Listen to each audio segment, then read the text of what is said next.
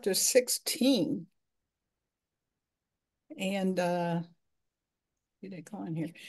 And uh, we're in chapter 16 and um, you know, through the whole journey already, uh, to me, as many times as I've read the book of Acts, I keep finding things that I didn't see before or um, it didn't, you know, it didn't click or, you know, uh, but I'm seeing it this time. And, and I guarantee you the next time I read through the book of Acts, I'll see something else.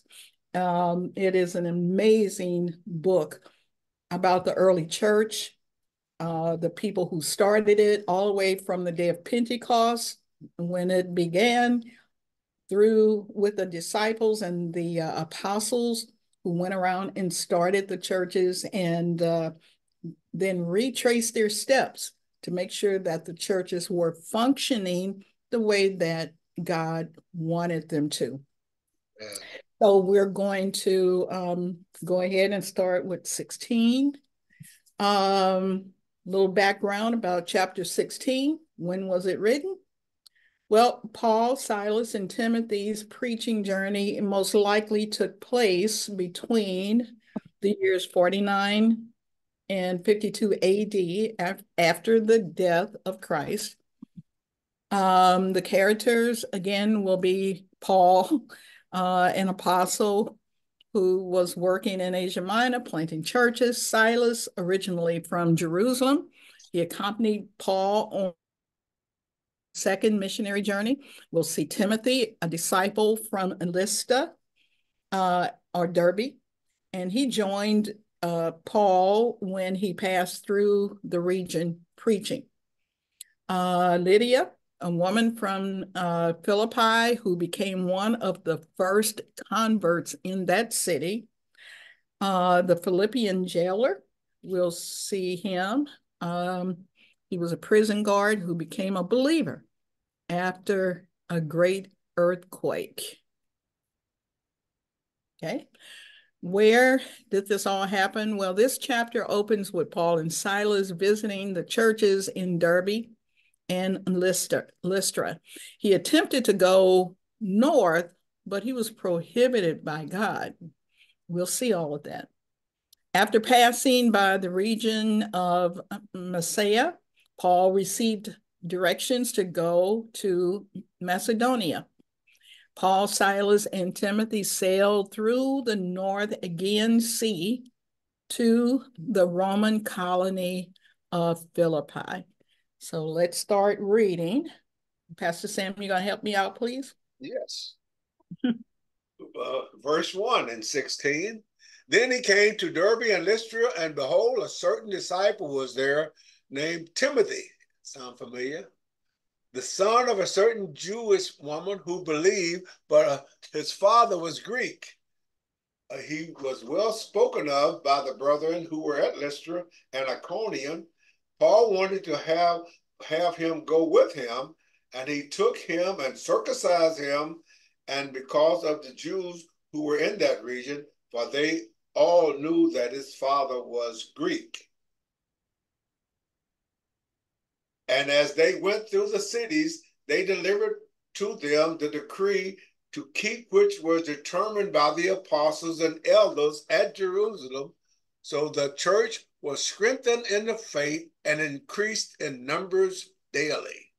Amen. Yeah. Did you did you guys notice that Timothy was uh he was part Jewish and part Greek? And see, that was something that I didn't pick up on, you know, over the times that I've read through the book of Acts, that he was uh his mother was Jewish and his father was Greek, mm-hmm. which is kind of unheard of back there. But um, but Timothy was Jewish and Greek. Okay.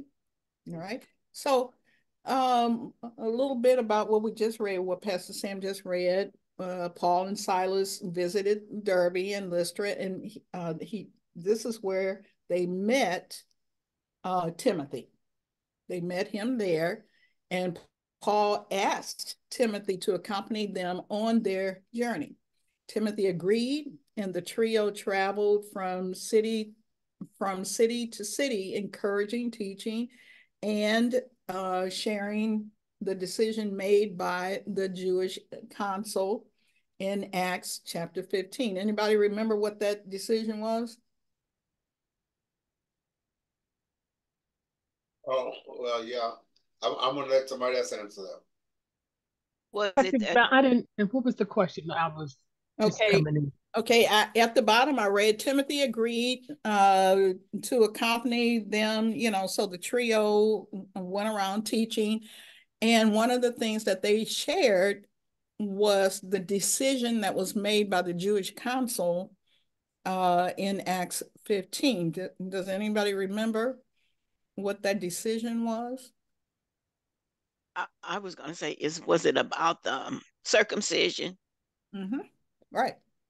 And, uh, Right, remember, the- yeah, the controversy that they had, uh, should the new converts be circumcised?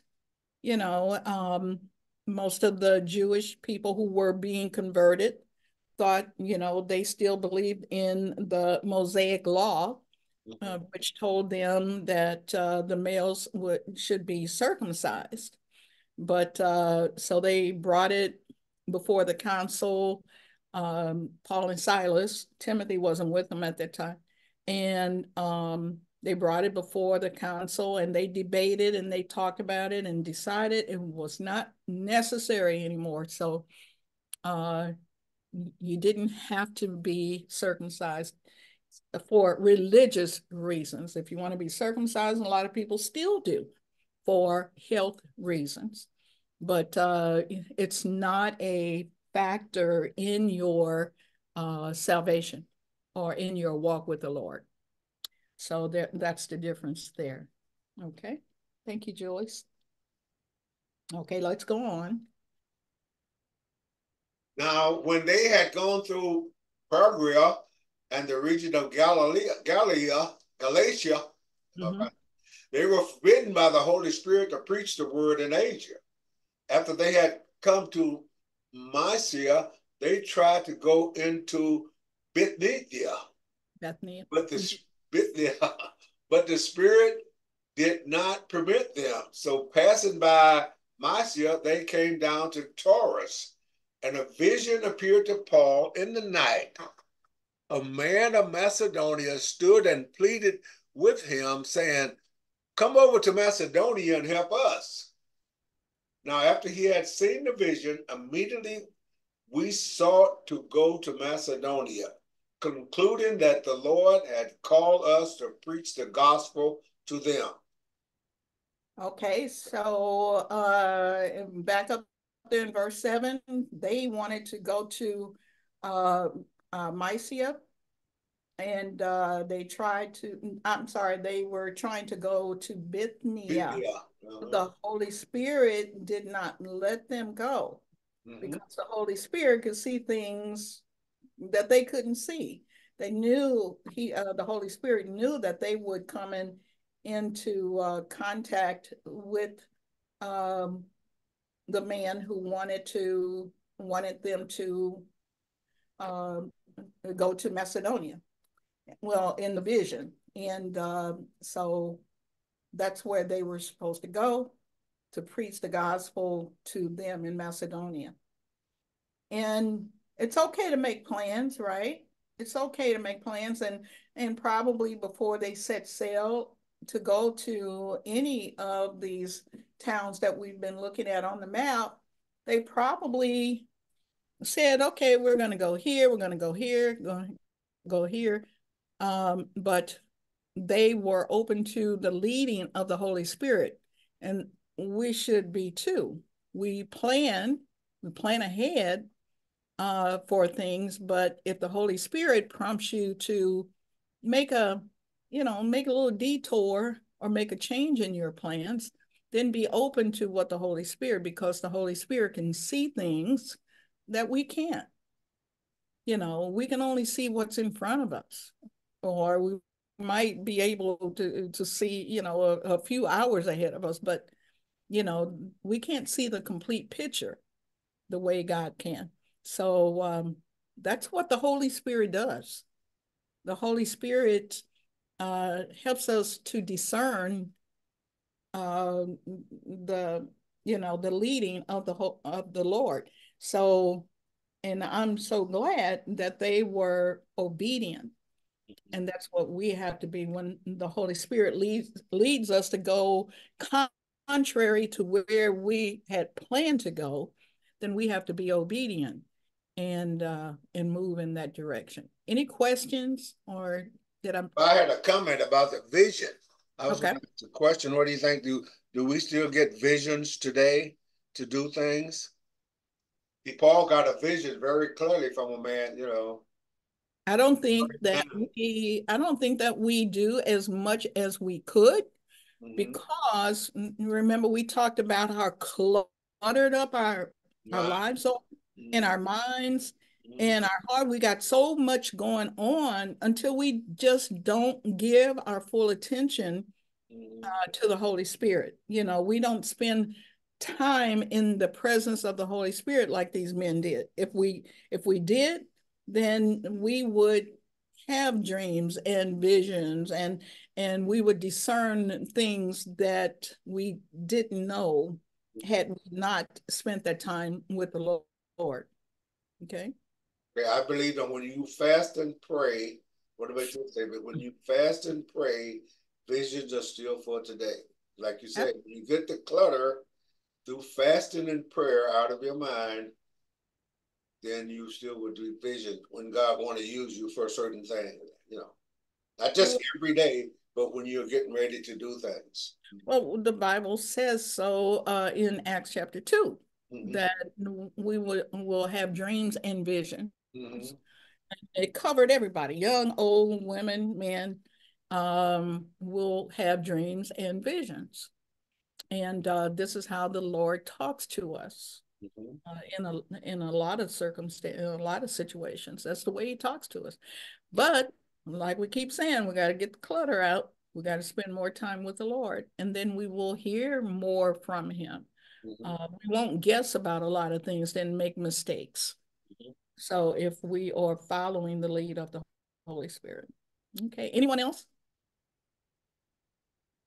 Okay. Um, so here's a little map of some of the places we've been talking about. I like to put maps up so we can kind of have a visual. So Paul receives direction from the vision in uh, the night. Uh, the Holy Spirit prevented Paul's group from going to Asia to preach. Um, he also prevented the group from going north to Bithynia to spread the gospel. And in Troas, Paul received a vision of a man saying, Come over to Macedonia and help us. And he obeyed, right? So he obeyed. So that little dark line there kind of, uh, again, kind of shows you the routes that they took. Okay. So what comes to mind in that path of man, uh, mankind has been long predetermined by God. Uh, we may think that we have complete freedom to make choices for ourselves, going back to, you know, following the leads of God in the path that we have. Um, the example of Apostle Paul's life is a great example. And from the point of his stunning conversion, while he was on the, his way to persecute and kill more Christians, to his impassioned missionary journeys, Paul was guided by the Holy Spirit all the way. Once he was converted, it was no more old Paul. Paul. Too bad we can't say that about everybody, right? Would it be great if once we were converted, accepted Jesus Christ as our Lord and Savior, you know, we just leave that old life behind and we are uh, new creatures in and out. We don't want to pick up our old habits. We don't want to do that old stuff anymore. It doesn't interest us. In matter of fact, it's a stench in our nostrils. Amen. So we want to move forward in the Lord. And that's the way Paul was. You know, once he got converted, he was he was the the the most vicious person as far as uh, getting rid of Christians, and we talked about that. He thought he was doing something great for God, but uh, um, you know, he did a total 180 and he changed. He changed. And, and so it is with us who have the gift of the Holy Spirit. He is our greatest helper as we journey in this life. If we just remember to get the clutter out, to listen, to obey, you know, don't shake it off. If God tells you no, don't get involved, or no, don't say that, or no, don't open your mouth right now. You know, and we kind of shake it off and go, but I got to get this out of my system. I got to do this, you know, then uh, we get in trouble, don't we? So we got to start learning how to listen and obey. So we go path, uh, we go path A and not B if the Holy Spirit prompts us to take A. So life is not a series of random events. It's really all planned out when you think about it. It's all planned out by God. Okay. All right, Pastor. Okay. Uh, verse 11 Lydia baptized at Philippi. Therefore, sailing from Troas, we ran a straight course to Samothrace, and the next day came to Neapolis, and from there to Philippi, which is the fourth most four, foremost city of that part of Macedonia, a colony. And we were staying in that city for some days. And on the Sabbath day, we went out of the city to the riverside where prayer was customarily made. And we sat down and spoke to the woman who met us there. To the women. It was it was mm-hmm. more okay. That's pretty interesting going down to the river to pray there. Yes. Now a certain woman named Lydia heard us. She was a seller of purple from the city of Thyatira who worshiped God the Lord opened her heart to heed the things spoken by Paul. And when she and her household were baptized, she begged us, saying, If you have judged me to be faithful to the Lord, come to my house and stay. So she persuaded us. All right. She insisted. Okay. Okay. okay. Uh, we got to give Pastor Sam a, a, kudos for tackling these cities. for tackling because and and we have to you know even when we read those the names of people in in the old testament you know and they got some names i tell you uh, but try your best to pronounce them you know god had uh people uh, to preserve those names so that we would have them. So we should give it a good try. We mess them up, but. Uh, I have three different versions of the Bible, and each person that read them pronounce them differently. on your video, on your uh, video, on my video, right? Uh, okay, okay. So, all right. So, uh, did I go back there? Okay. Okay. So, well, uh, they met Lydia and she was a seller of uh, materials and things like that in the city. I was going to ask you guys who remember the name of the city that she was from. Look at the city, Thyatira. Where where have you seen that city? In the um, in Revelation. Revelations. Okay, that was one of the seven churches mm-hmm. of, uh, that Paul that John visited. You know, um, or John, John had a message from Jesus Christ to the church of Thyatira. Now, my second question is anybody remember what the message was for Thyatira?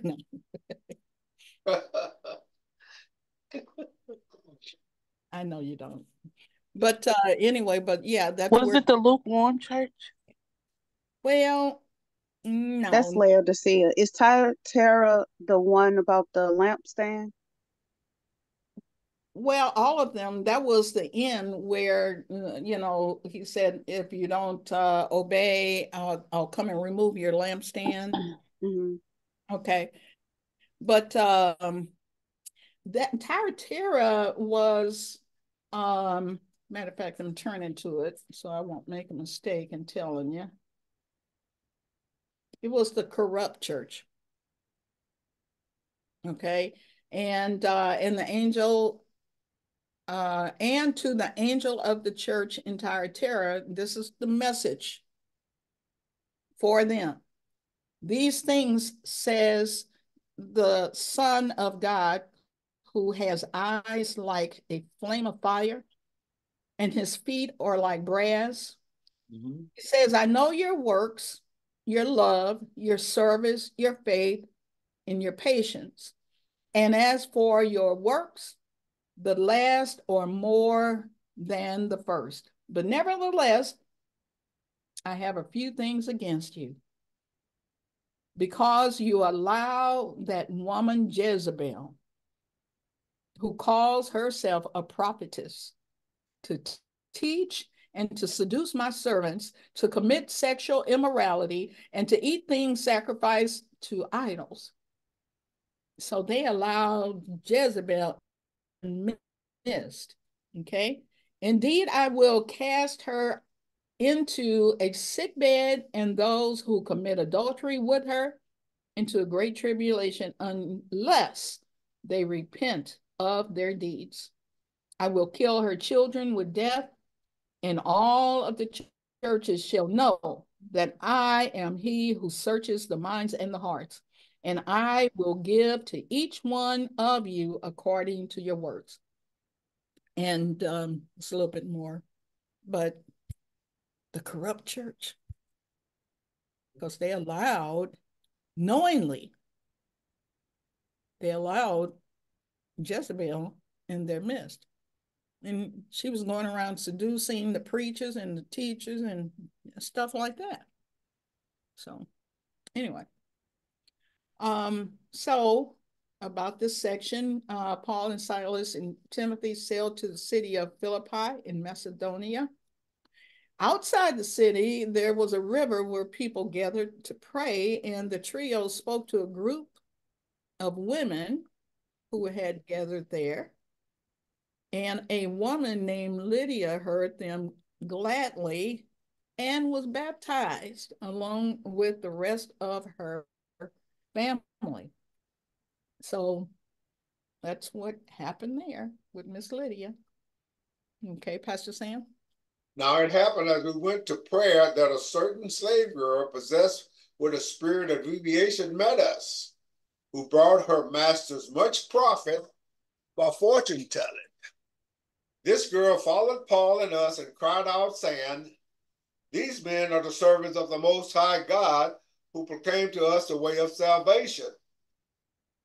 And this she did for many days. But Paul, greatly annoyed, turned and said to the Spirit, not to the lady, turned and said to the Spirit, I command you in the name of Jesus Christ to come out of her. And he came out that very hour. But when her masters, she had more than one, when her masters saw that their hope of profit was gone, they seized Paul and Silas and dragged them into the marketplace to the authorities. And they brought them to the magistrate and said, These men, being Jews, exceedingly trouble our city. And they teach customs which are not lawful for us, being Romans, to receive or observe. Then the multitudes rose up against them, and the magistrate tore off their clothes and commanded them to be beaten with rods. And when they had laid many stripes on them, they threw them into prison, commanding the jailer to keep them securely.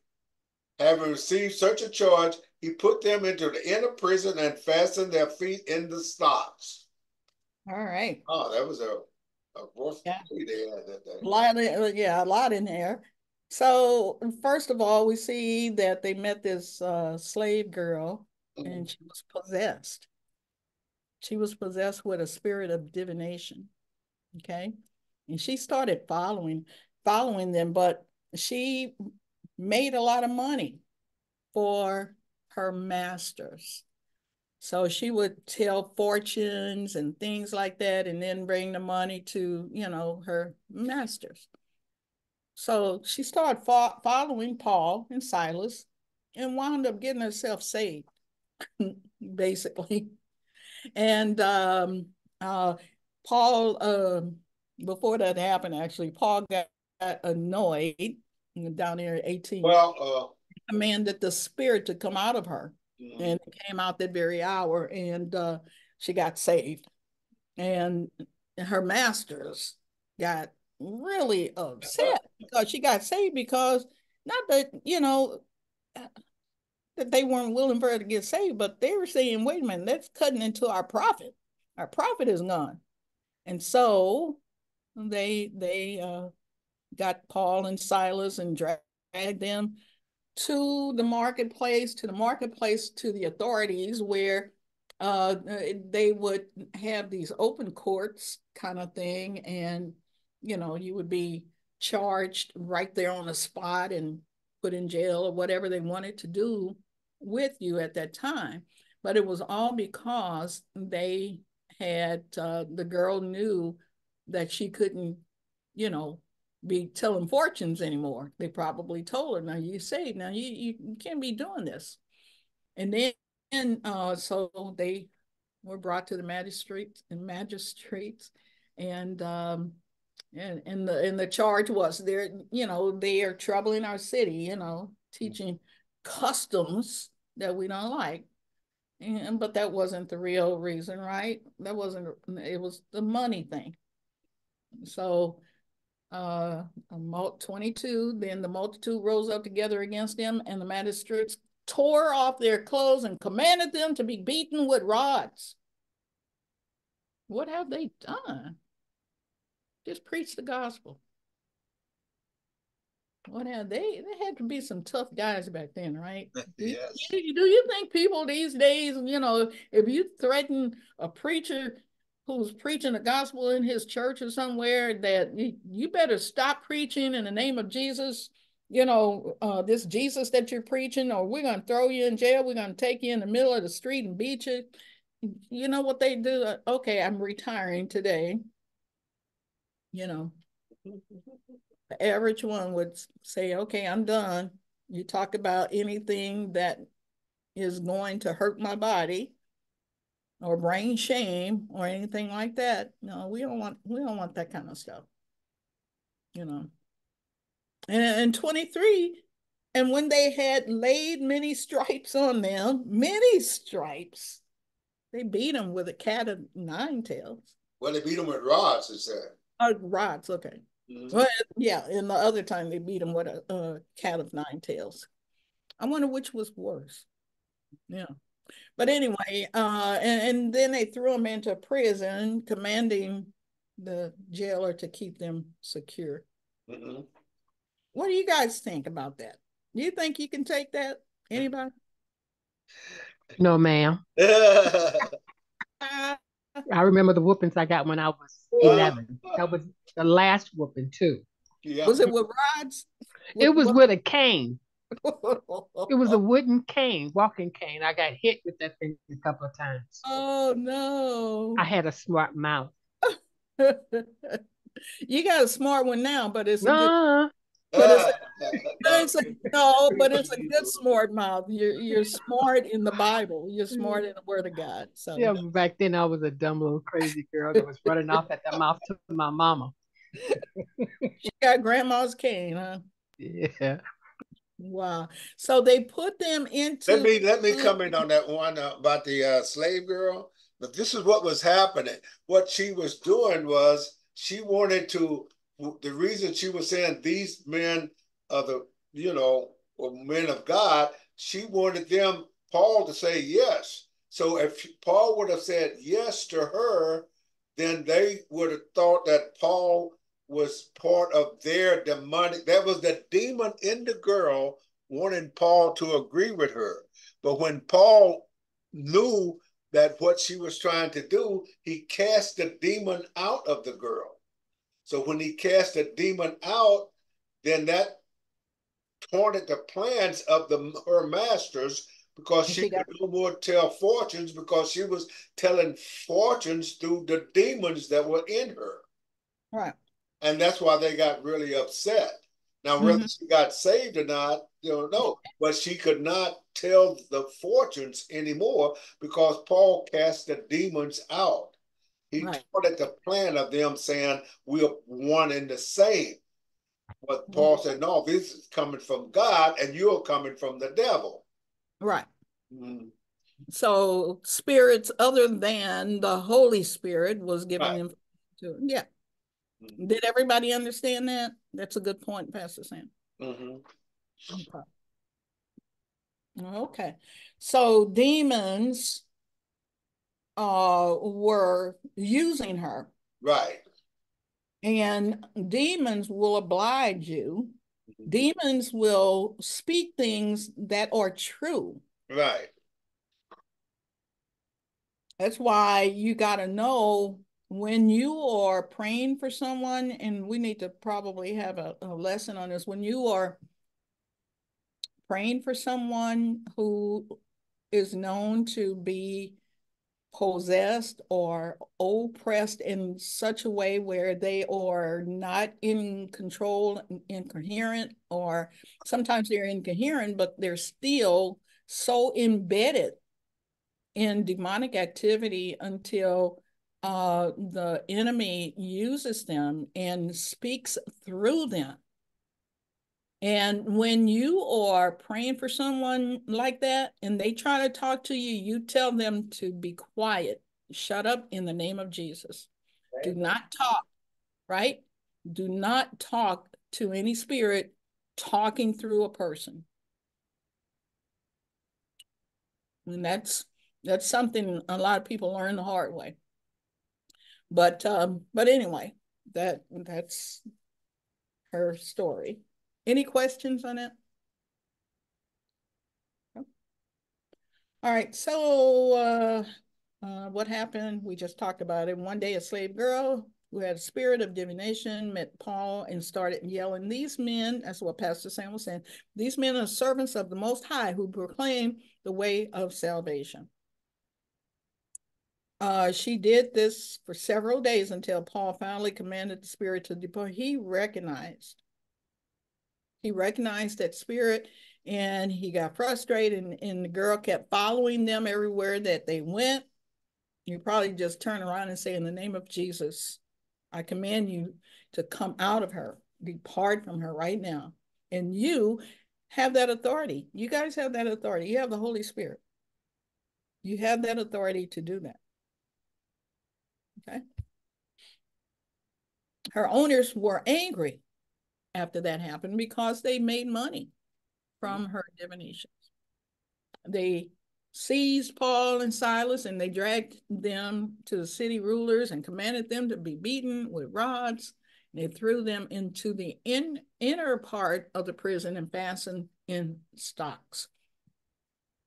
Now, back there in those prisons, they had the regular prison, they were all bad.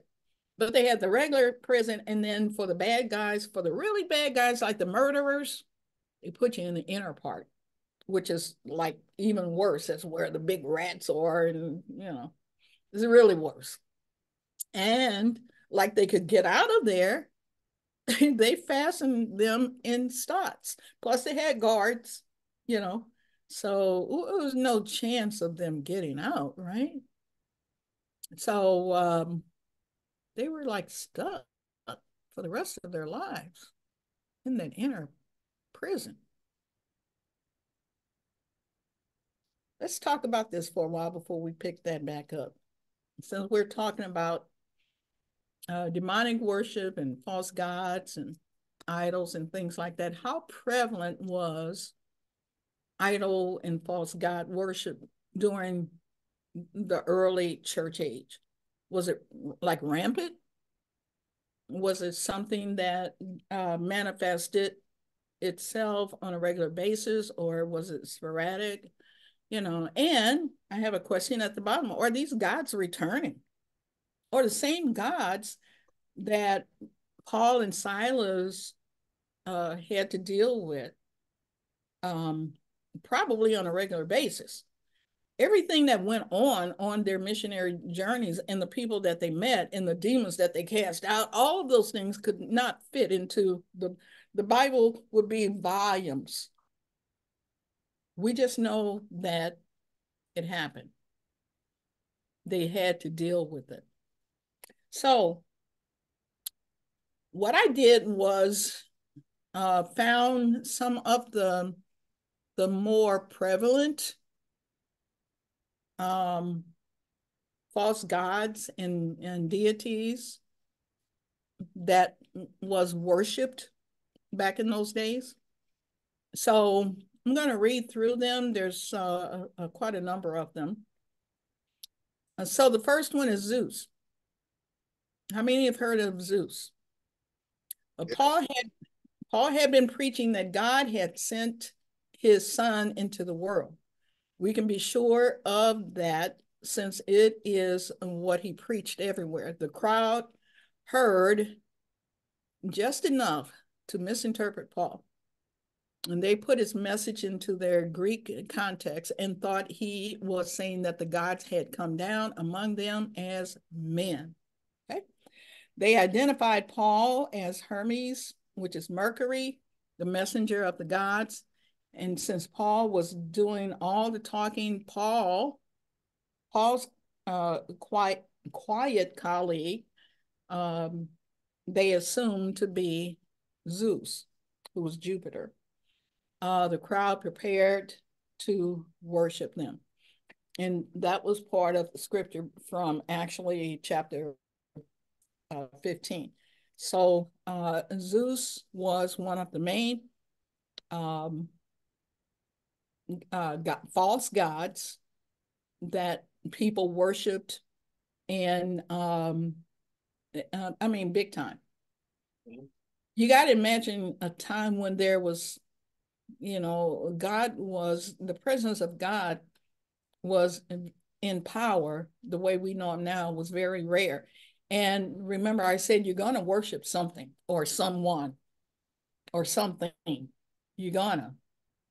And uh, uh, Zeus was one of the more prominent um, gods of that time. The next one is Hera. Hera was the queen of the gods, queen of the gods and the protector of women. And she was the wife of Zeus, who was rampant with infidelity. As such, Hera, Hera uh, contrived several jealous plots to get rid of Zeus's many mistresses and illegitimate children. And there are also a few myths which depict Hera's motherly nature. However, such as the story of Jason and the Argonauts. Um, Hera was the goddess of marriage, family, children, women, and she was also the queen of the gods as she was married to Zeus, the king of the God. Um, so basically, like if a woman wanted to have a child and she wasn't able to, then she would seek the presence or the advice of Hera, you know, and um, the connection that she would make, the worship of this God would help her to uh, conceive and have a child. She um, she was also the god of the family, marriage, and all anything connected like that. Okay, Poseidon. Poseidon was said to help the Greeks against the Trojans during the Trojan War. Poseidon had domain over the legendary uh, Atlas, uh, uh, Atlantis, I'm sorry, a fictional island that was cast into the depths of the Atlantic Ocean. These are all gods and goddesses and things that people worshiped instead of God, looking for help in their time of need instead of God the Father, God the Son, and God the Holy Spirit. They would reach out to these uh, entities. Artemis. Artemis was the goddess of chastity, hunting, and the moon. And she was often depicted with her trusty bow and arrow and a short tunic to aid in running through the woods. Okay, so that's who she was. Athena. Athena was one of the 12 chief Olympian deities and the goddess associated with wisdom, craft, and warfare. She was a warrior. In wars where she was most completely depicted, Athena embodied cold rationality, tactics, and strategy. So that was her MO. And so I would assume if there was a war, they would pray to Athena for help to, you know, go before them to help win the battles, whatever. Hermes. Hermes uh, was an ancient Greek god of trade, wealth, luck, fertility, animal husbandry, sleep, language, thieves, and travel. So these are all of the things that they would reach out to Hermes for help and uh, success. He is also the god of speed and travel. Look at him go. And Look at him- sports. Look at him, look, look, look at them little feet go. Well, that's why they made him the god, one of the goddess of sports in the Mhm. Olympics. Yeah. Mhm. Speed Ares, names also. most famously known as the god of war. He was the first child of Zeus and Hera. His symbols include the boar, which is a just like a uh, a bear, right? Yeah, boar, a dog, a wolf, a spear, a sword, and a vulture. His Roman counterpart is Mars. Okay, so that's Ares. Okay. Uh, Gaia. Gaia is the goddess of the earth. This is the one that they call Mother Earth. She was the mother of all, the pre uh, preeminent mother. At a uh, cosmogenic level, she symbolized the material side of the universe, whereas chaos symbolized another god, symbolized the space of the universe. And and uh, there were several pictures for me to choose from, and I chose the one to, to the far right because it reminded me of the pose that they use in yoga. So I think uh, Gaia was had something to do with uh, yoga. Had that pose, you know, whatever. But she was she was a looker, wasn't she? Look at that. That's part of nature worship. Yes. Her, right. Uh, Eros. alive today, yes. Eros symbolized the driving force that unites everything, giving birth to the rest.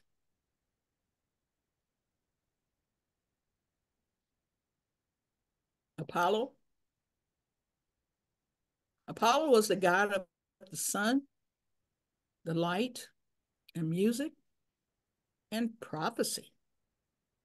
He is the son of Zeus, um, Zusa, I'm sorry, and the Titan Leto and was born in the Greek island of Delos, along with his older twin sister, Artemis, the goddess of the hunt. Apollo's powers were varied, but he is mostly associated with the power of prophecy. He bestows the gift of prophecy on some of his lovers and favorites. He also had the power to heal, to shapeshift, to, to manifest, you know, different shapes of things, uh, and eternal youth.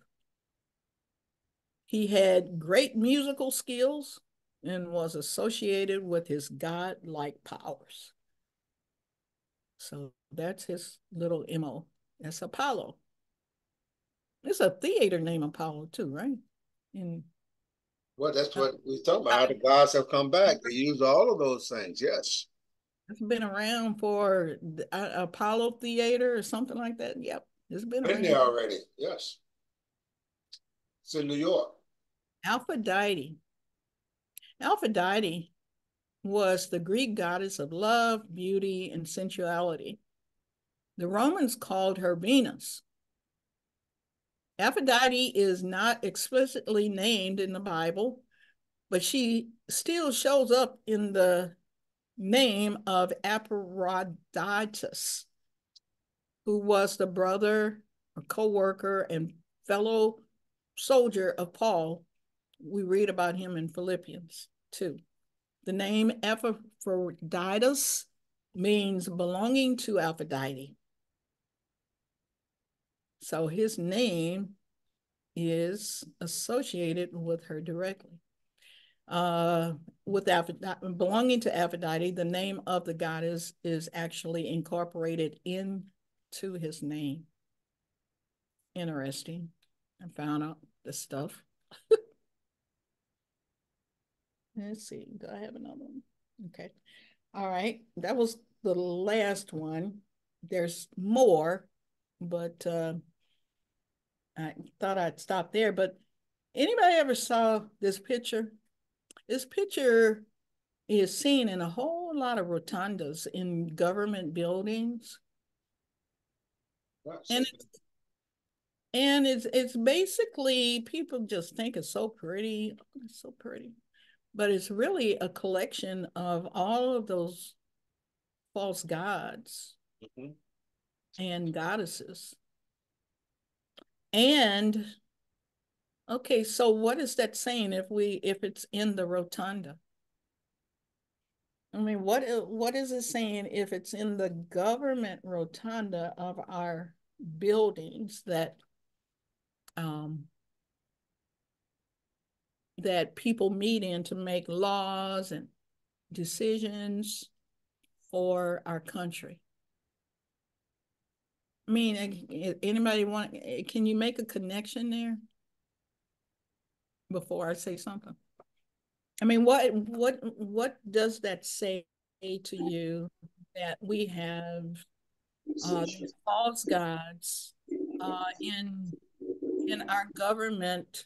And this picture is somewhere else, but you know, uh, it's, you see them if you go to different government buildings, different capitals and different, uh, uh, you know, wh where they had the, have the real tall rotundas and pictures all over the place. And, and um, this is one that you see a lot. So anybody, what does that, what does that say to you? Go ahead. I was gonna say, does it have something to do with power? Uh, okay, explain. Because the government, the government has the power to be over, I mean, to make the laws for the people. Okay, so it's saying, no, go ahead. So it's saying that, what is it saying to the, the, um, the senators, say the senators and the legislators and, uh, are you saying that they think they get their powers from them? To, to govern? Is, Yeah. is that what you're Yeah, saying? kind of, kind of what I'm trying to say. I don't know. I'm, I'm just thinking that's, that's what I was thinking. Powers, um, because it's in the government building, and like you say, the senators, the all the people that is in authority. Mm-hmm. Okay. That this might, I don't know. I'm, I don't know. Yeah, I'm just maybe. guessing. I agree with you, Sister Joyce. I think that they think they get their powers from those. They are looking up to them in a way, you know, that we Yeah. know what's going on.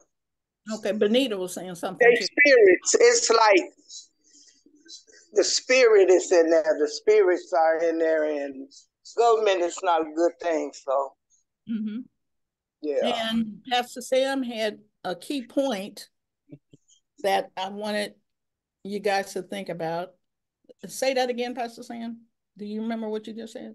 No, Oh, well, I just said, I think they're looking up to them for their They're powers. looking up. They're looking up. Mhm, Yeah. mhm, They're looking Yeah. up. Uh, knowingly or unknowingly. Mostly, I would say knowingly. Uh-huh. A lot of people know what they're doing. They're not just saying, "Oh, these are some cute old pictures." A lot of people are. Remember, in one of the questions uh, uh, I put way back when we uh, when I started showing you these different uh, in, entities, uh, are they returning? Are people still involved in it? Like, or did they ever go away? Didn't ever go Well, away. Well, well, that, Well, it went dormant for a while, but then now it's returning. ahead, Right. In the nineteen sixties, it came back really strong, yes. I was gonna say Pastor Sam um, did that lesson on the return of the gods from uh, Jonathan Cahn, and he's Right. showing us how these gods, like you said, Pastor Sam, they were dormant, and now Uh-huh. they're coming back. Right. They're coming back. Making a comeback. So, in other words, When just we kick the, let me say this, when we kick the, you know, like you pray for a person and you cast out a demon and that person go back and sin, and the demon say, well, okay, now the demon is out, but if that person isn't living right, well, the house is clean, I'm gonna come back. go. The That Bible same thing has "Go happened to America and the rest of the world. We kick prayer out of school, we kick prayer out of everything. So the The house Bible is clean, you know. Uh, so now the demon said, no, we go back and move in, and they have moved back in. Yes. Right. They they go into dry places Hey. until a door is open. Remember, we Mhm. always talk about watching your gates, watching your um, you know, people that you hang around, um, doors that you open, um, being um, you know, curiosity seekers. Uh, this thing TikTok that they've been talking about, you know, trying to get rid of or whatever. A lot of that stuff is on TikTok, you know, uh, this craziness. So we're opening doors, Uh-huh. opening doors on an individual basis, and we're opening doors as a country.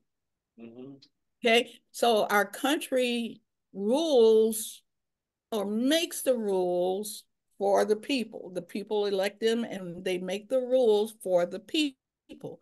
Well, it doesn't take a a, a, a rocket science scientist to see that our legislators, our people that we ha- are putting into office now, Mhm. are not seeking the God of glory.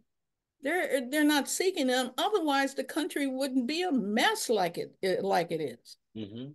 Look at what's happening down in Georgia. Look at all of this stuff. Mhm. So what I'm saying is, all of this is because uh, as a country, as a as a nation, as a people, we have basically walked away from God. Yes. And you're going to serve something or someone, like I said at the beginning. Mhm. And so the the gods, the idols, uh, are there to appease. They Right. say, "Here we are. We'll help you. You need help with your farming. You need help with your ch- children. You need help with this. You know." So you got all of these entities, these false gods from Satan, Not a false god or nothing, but uh, will come into imagination and and- make a stature, and then they have the devil have to have some kind of object or person to work through.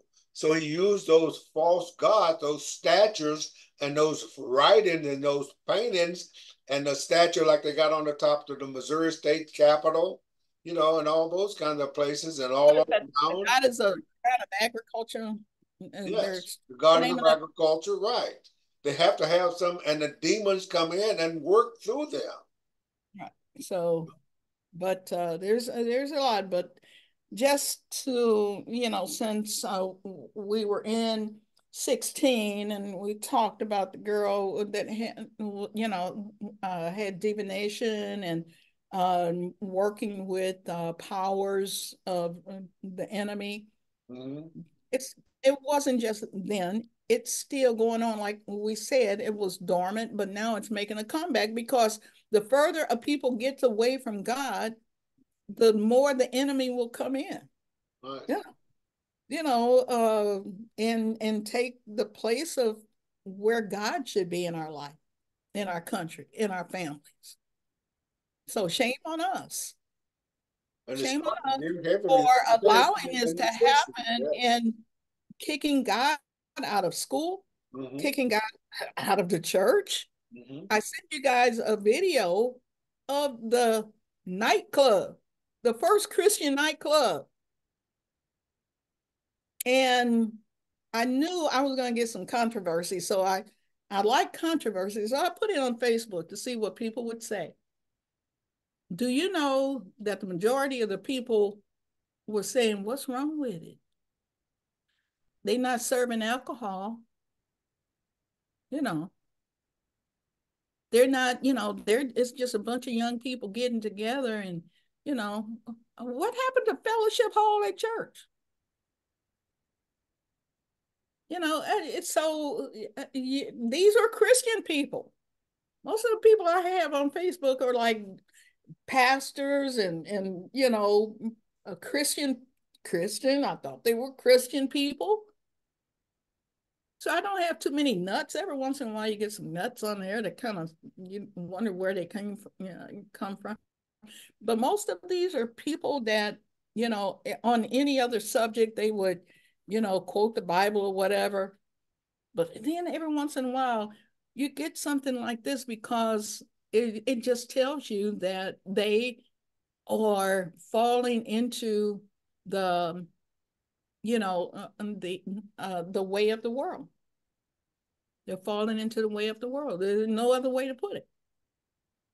No other way to put it. Uh, somebody said, "Well, I know a church down in Springfield that not only had a uh, um uh tried to uh, uh, have something like a nightclub thingy, but the big thing was they had a uh, what was it, Pastor saying they had an um a day a fundraiser where they did tattoos. Yes. Yeah, they had a fundraiser where they did tattoos. You know, this is in the church. This is in the church. And So- the Bible plainly Yeah. says you never to alter, cut yourself, or do any kind of things like that. You know. Right. Mhm.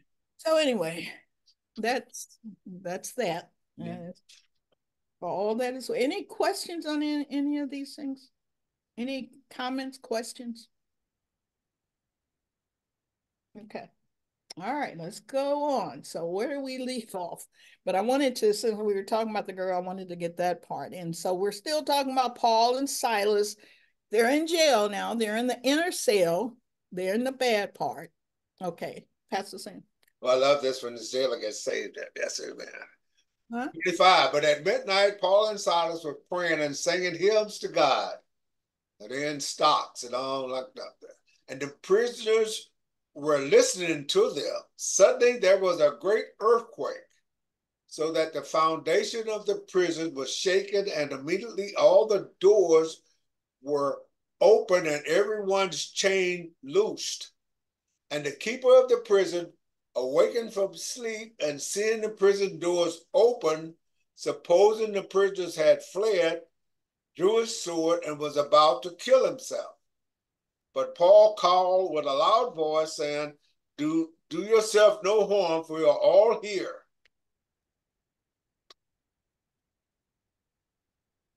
Then he called for a light and ran in and fell down trembling before Paul and Silas.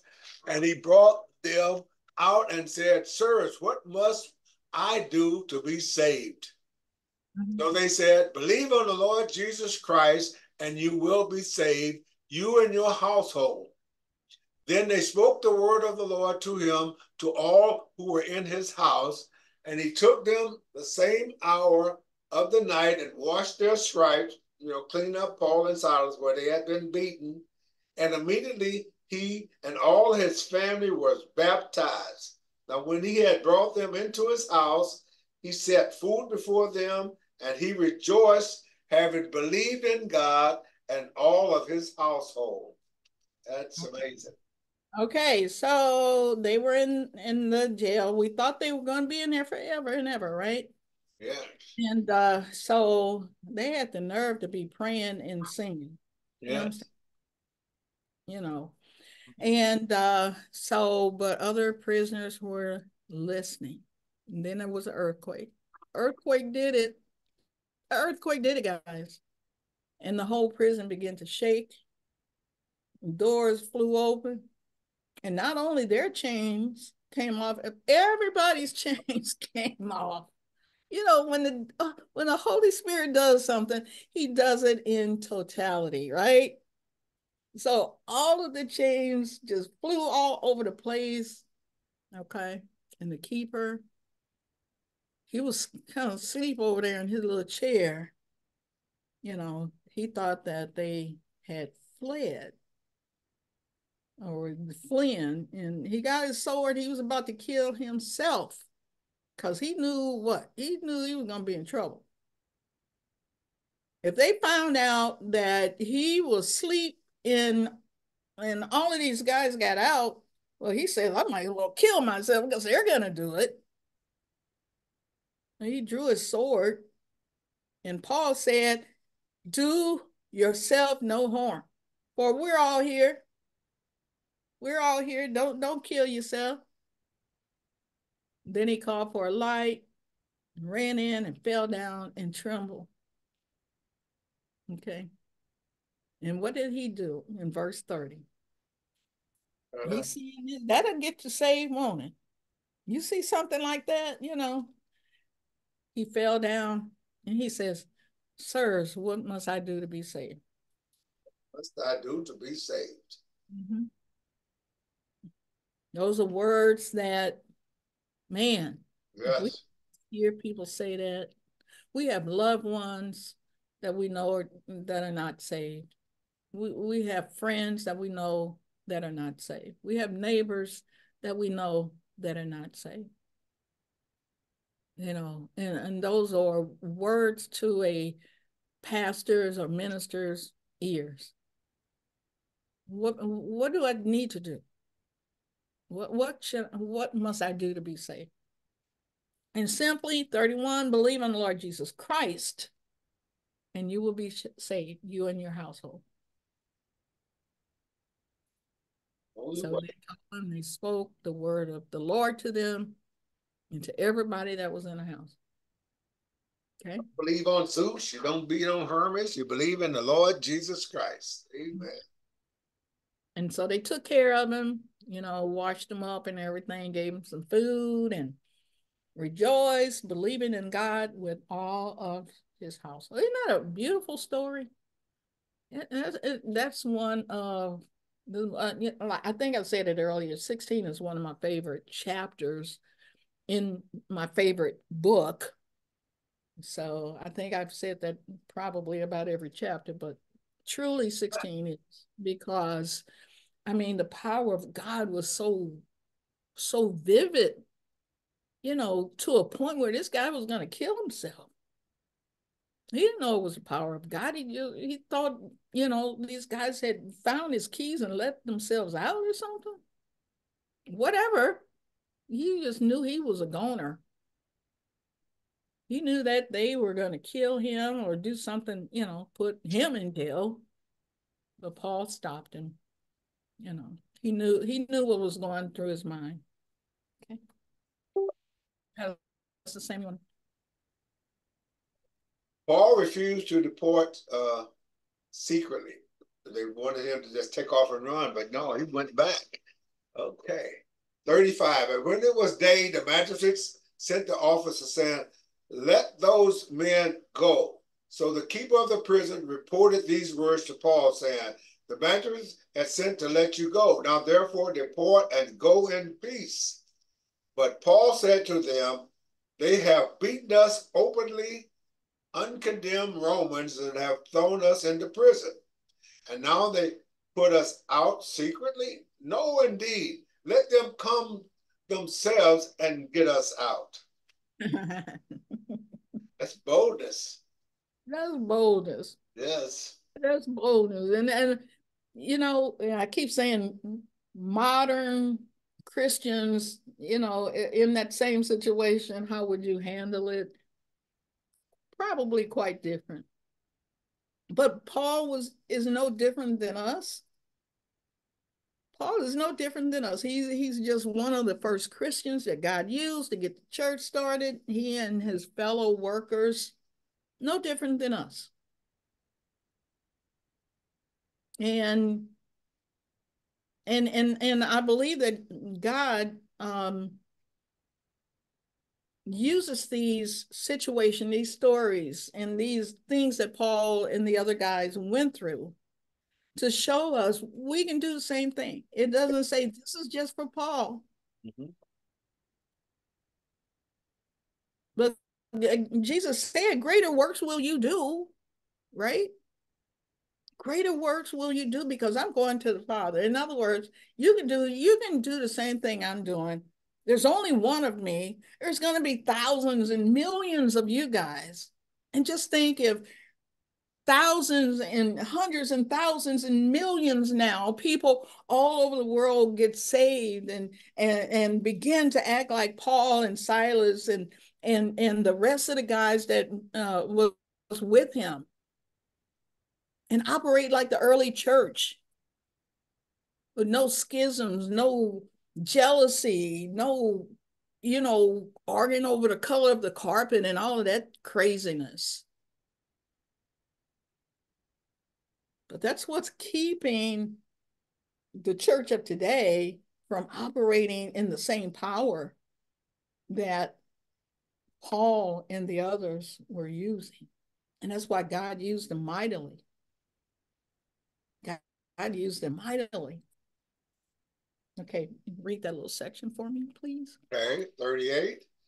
And the officers told these words to the magistrate, and they were afraid when they heard that they were Romans, not supposed to be the Roman citizen. Then they came and pleaded with them and brought them out and asked them to depart from the city. So they went out of the prison and entered the house of Lydia. And when they had seen the brethren, they encouraged them and then they departed and departed. Amen. I was That's power. That's power, and that is, you know, just steadfastness mm-hmm. to complete the job that you got to do, no mm-hmm. matter what. No matter what. Lydia went to work right away, if you notice, right after she got saved and baptized, mm-hmm. and was working with Paul. Why wait? You know, why wait? Okay, so what happened at midnight? Paul and Silas were singing hymns in a prison. The, there was a great earthquake. The doors flung open, open, and everybody's bonds were unfastened. The jailer almost killed himself, thinking all of the prisoners had escaped, but Paul and Silas stopped him. And he asked Silas and Paul what he needed to do to be saved. The two preachers taught the jailer and his whole family about Jesus, and they were all baptized that night. when it was discovered that Paul and Silas were Roman citizens and had been beaten unlawfully, the city rulers let them out of prison and apologized and uh, the the preachers visited visited Lydia before departing to another city. So that's what happened there. That's what ha- happened there. How can we apply this I'm going to do this and then we're going to stop for the night. Um, your positive, um, this is how we apply what we learned tonight. Your positive attitude during difficult, during, I'm sorry, well, that's good too. Your positive attitude during times of trial and difficulty can have a huge impact on the people observing you. That's a true statement, right? That's a true statement because the way you handle a situation and an, un an unbeliever is looking and observing, it's going to have an impact on their life. You know, they're going to see that, hey, they didn't groan, they didn't moan, they didn't curse somebody out, they didn't get angry. They just waited on the power of the Holy Spirit. They just kept calm and was obedient. And so, all right, Paul and Silas were beaten and chained in prison, but they found joy in Jesus and they were singing hymns during their incarceration. Wonder what they were singing, Amazing Grace? Probably. it hadn't been written yet. Whatever they were singing, though, must have had a big effect on the jailer because after the earthquake, he immediately ran up to Silas and Paul and asked what he needed to be saved. So it must have been a powerful song. Yes. Maybe it was I'm no longer a slave to sin. I am on a the road, on the road to Jerusalem. No, they weren't singing that. they were out of Jerusalem. Maybe a Linda song. When we rejoice through suffering rather than sulking through it, we may be impacted, impacting rather people in powerful ways, even if we never are aware of the impact. Just always do the right thing because you never know who's looking at you. But I guarantee you this if you handle things in the wrong way around an, an unbeliever, mm-hmm. if you handle it in the wrong way, if they see you acting outside of your Christian character, you have lost your witness to them. You can never witness to them because they're going to always have in their mind what you just did or how you handled that situation, how you blew up, how you uh, maybe used some words that should have been in the sea of forgetfulness or in somebody's garbage can. Hmm. Or, you know, how you, you know, uh, just rolled your eyes or rolled your neck or, you know, just your attitude and how you, ha- and, and then you can't go back to that person later and say, you know what, I want to tell you about Jesus. Ain't gonna work. Okay. Hmm. Okay. Whatever they were singing, must have had a big effect on the jailer because after the earthquake, he immediately ran up to uh, Silas and Paul and asked what he needed to be saved. I, I repeated that. When we rejoice through sufferings rather than sulking through it, we may be impacting people in powerful ways, even if we don't know the impact. Why did I repeat that? Okay, and that was it. Mm -hmm. So, any questions or comments? Well, in recording, please. I am. Go ahead. Did you have a question? Well, I was just going to say, I think also